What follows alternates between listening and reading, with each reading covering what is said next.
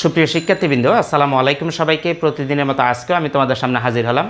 আজকেও তোমরা যারা বিবিএ অনার্স ফার্স্ট ইয়ার আছো, তোমাদের জন্যই প্রিন্সিপালস অফ অ্যাকাউন্টিং যে সাবজেক্ট আছে সেখানটা ম্যানেজমেন্ট ডিপার্টমেন্টে যারা আসো খেয়াল করবা, আমি আবার বলতেছি, এই ক্লাসটা যারা ম্যানেজমেন্ট ডিপার্টমেন্টে আসো তারা প্রিন্সিপালস অফ অ্যাকাউন্টিংয়ের টেন পয়েন্ট ওয়ান চ্যাপ্টারে আছে। অ্যাকাউন্টিং ফর পার্টনারশিপ নামে। আর যারা অ্যাকাউন্টিং ডিপার্টমেন্টে আসো তারা অ্যাকাউন্ট সেকেন্ড ইয়ারে অর্থাৎ বিবিএ সেকেন্ড ইয়ারে ইন্টারমিডিয়েট অ্যাকাউন্টিং যে সাবজেক্ট আছে সেখানের মধ্যে আছে।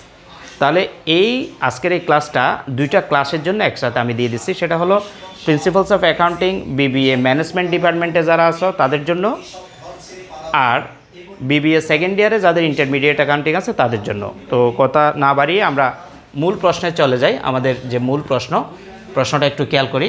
Arif and Alaul R partners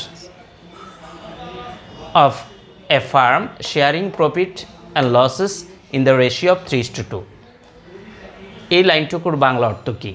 Arif এবং আলাউল, তারা দুজন অংশীদার একটি প্রতিষ্ঠানের of a firm sharing profit and losses in the ratio of ত্রিশ টু টু তাদের লাভ লোকসান বন্টনের অনুপাত হল তিন অনুপাত দুই।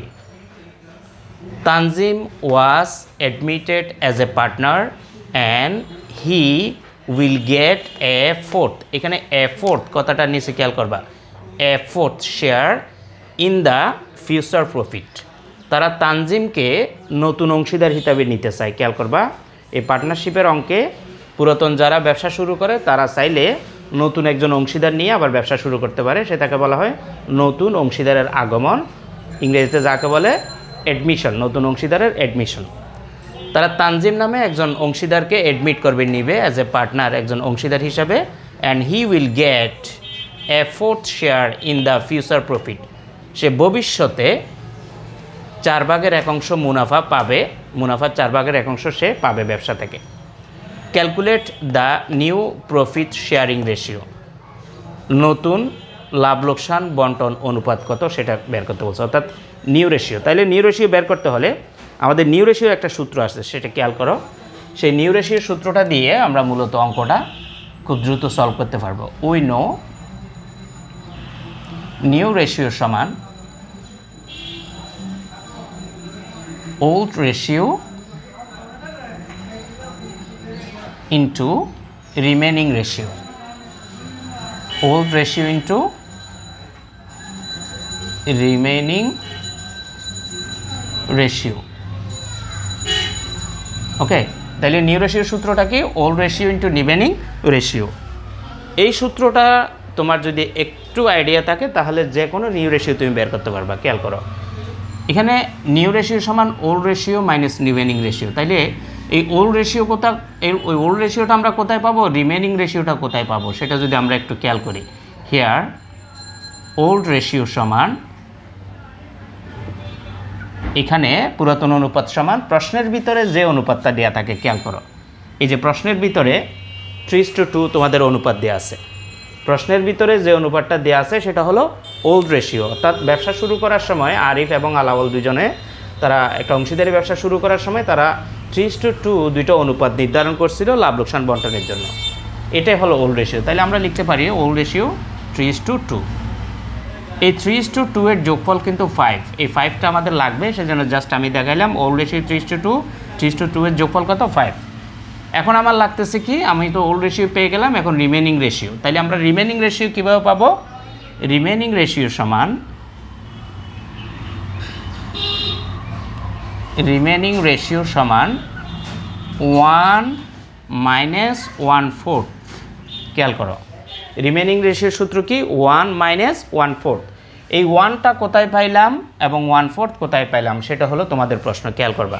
এখানে একটা জিনিস আমি আন্ডারলাইন করাইছি, আগে থেকে দেখো এ ফোর্থ এ ফোর্থ মানে হলো ওয়ান ফোর্থ অর্থাৎ তারা যে তানজিমকে অংশীদার হিসাবে নিবে, তারা সিদ্ধান্ত নিছে যে ভবিষ্যতে তানজিমকে চার ভাগের এক অংশ মুনাফার অংশ দিবে। এটা হলো ওয়ান ফোর্থ ঠিক আছে?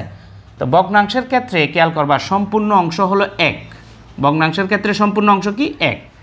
তানজিমকে যদি এক থেকে, অর্থাৎ সম্পূর্ণ অংশ থেকে ওয়ান ফোর দিয়ে দেয়, বাকি যেটা থাকবে সেটা হলো রিমেনিং তাহলে বাকি কত থাকবে? আমরা যদি ফোর লসাগু নিই ফোর মাইনাস ওয়ান হট দিয়ে বাঘ লব দিয়ে গুণ।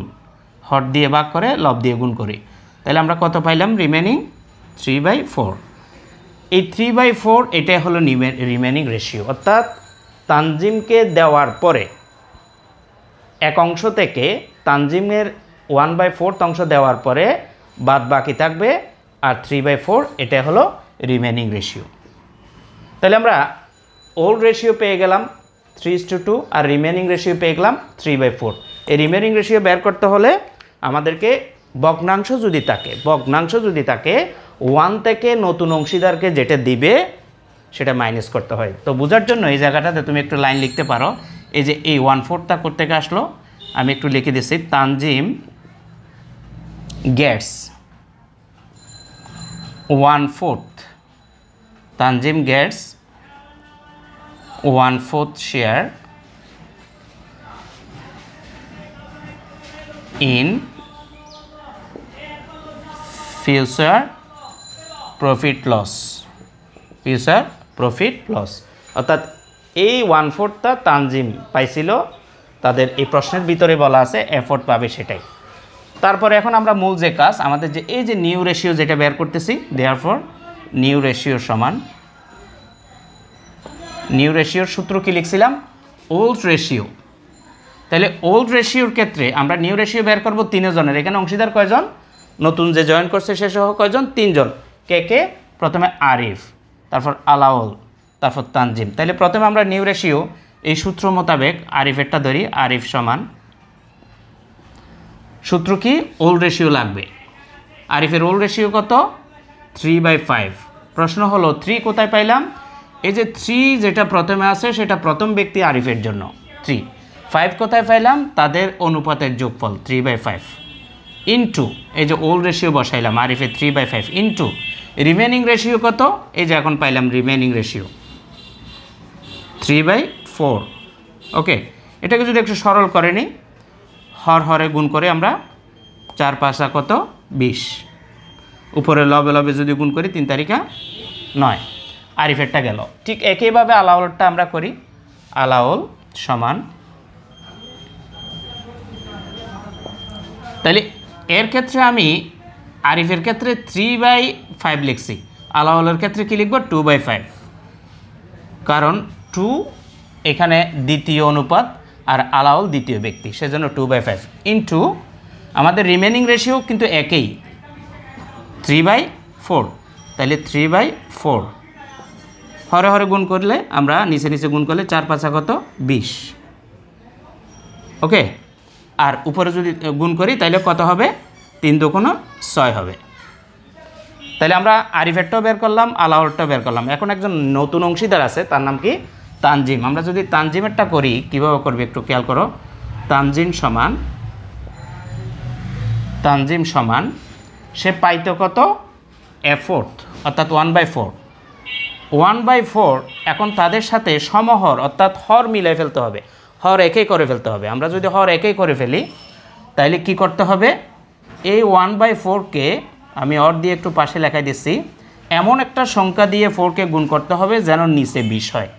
তাইলে নিচে আস ওয়ান বাই ফোরটা লিখলাম। নিচে আছে ফোর ফোরের সাথে বিশ গুণ, বিশ মিলাইতে হলে ফাইভ দ্বারা গুণ করতে হবে। হর যদি ফাইভ দ্বারা গুণ হয়, মান ঠিক রাখার জন্য উপরের লবকেও ফাইভ দ্বারা গুণ করতে হবে। খেয়াল করো, আমরা মূল টার্গেট হলো আমাদের সমহর করে নেওয়া, অর্থাৎ হর একে করে নেওয়া। তাহলে এদের দুজনের নিচে হর বিশ আছে। তাহলে ওর তো নিচে এখন চার আছে। তার বিশ করতে হলে কত দিয়ে গুণ করতে হবে? ফাইভ দ্বারা বা পাঁচ দ্বারা গুণ করতে হবে, গুণ করলাম। কিন্তু মান যদি ঠিক রাখতে চাই, অর্থাৎ ওয়ান বাই ফোরের মতো মান ঠিক রাখতে চাই, নিচে যেটাকে দিয়ে গুণ করব, উপরেও ঠিক একই সংখ্যা দিয়ে গুণ করছি তাহলে পাঁচ তাহলে এখন দেখো তুমি কাটাকাটি করলে কিন্তু আবার ওই ওয়ান বাই ফোর হয়ে যায়। তাহলে এখন আমরা এটা করছি কেন? নিচে এই যে হর মিলানোর জন্য। তাহলে উপরে যদি ওয়ানকে ফাইভ দ্বারা গুণ করি ফাইভ এখন সবার হর মিলে গেছে, অর্থাৎ সবার হর সমান হয়ে গেছে। আরিফের ক্ষেত্রেও বিশ আলাউলের ক্ষেত্রেও হর বিশ এবং তানজিমের ক্ষেত্রে হর বিশ। সব হর যখন একে হয়, হরগুলোকে পরিহার করা যায়। সেক্ষেত্রে আমরা লিখতে পারি দেয়ার ফর নিউ রেশিও সমান তাইলে আমরা আরিফের ক্ষেত্রে নিব কত? নয়।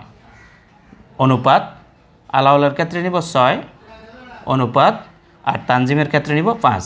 তার মানে নিউ রেশিও হলো nine is to six is to five এভাবে নিউ রেশিওগুলো তোমরা বের করতে পারো। এভাবে পর্যায়ক্রমে আমি আরও ক্লাস দিব কিছু। তোমাদের জন্য একটা অনলাইন বেস চালু করছি, যারা ম্যানেজমেন্ট ডিপার্টমেন্টে আসো তোমরা চাইলে যোগাযোগ করে ওই অনলাইন ক্লাসে জয়েন করতে পারো। মাত্র মাসিক ফি চারশো টাকা। আজকে ক্লাসটা লম্বা করব না, এখানে শেষ করব। পরবর্তী ক্লাসের জন্য চোখ রাখো এবং ভর্তি হওয়ার জন্য একটা মোবাইল নাম্বার বা হোয়াটসঅ্যাপ নাম্বার দিব। সেখানে তোমরা আরও ডিটেলস জানতে চাইলে অবশ্যই জানতে পারবা। ভালো থাকবে সবাই, শুভকামনা রইল। আসসালামু আলাইকুম রহমতুল্লাহি ওবরকাত